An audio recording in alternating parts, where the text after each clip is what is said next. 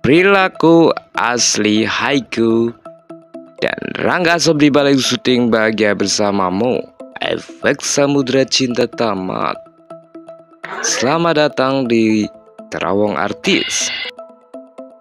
Perilaku asli haiku Vanner Viken dan Rangga Sob di balik syuting bahagia bersamamu Efek Samudra Cinta Tamat Dilansir dari banjarmasinpost.co.id Haiku dan Rangga Asaf selalu sukses bikin fans baper efek aksi bucin kusut di Samudra Cinta. Kini sinetron itu telah tamat, namun penampilan mesra Haiku dan Rangga Asaf di video klip bahagia bersamamu curi perhatian ada perilaku asli Haiko dan Rangga Asob di balik layar yang terekam. Hubungan antara Rangga Asob dan Haiko van der Vijken masih saja ramai menjadi bahan perbincangan meski keduanya sudah tak lagi membintangi samudera cinta yang mempertemukan mereka sebagai pasangan suami istri.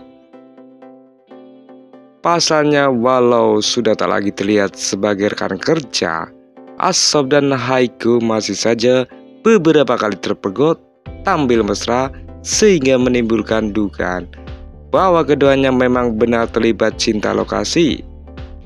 Hubungan mereka itu kemudian turut dibahas di sela-sela syuting pembuatan video klip Bahagia Bersamamu yang baru saja diluncurkan beberapa minggu lalu.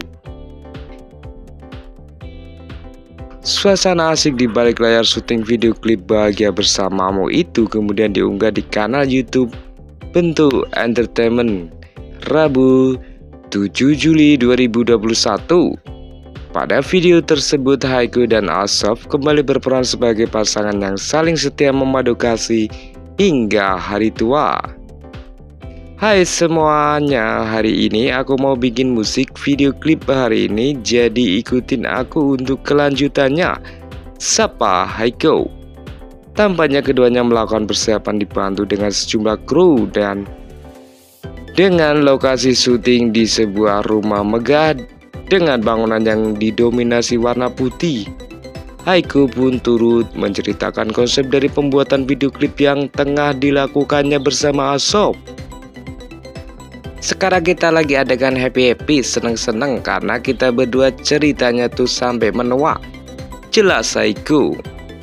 Menariknya dalam momen tersebut, Asof justru menyinggung soal hubungannya dengan Aiko. Ini pasangan dia. Aiko di hari ini, besok nggak tahu. Goda Asof, itulah kabar dari Rangga Asof dan Haiko. Bagaimana menurut pendapat kalian? Terima kasih sudah nonton.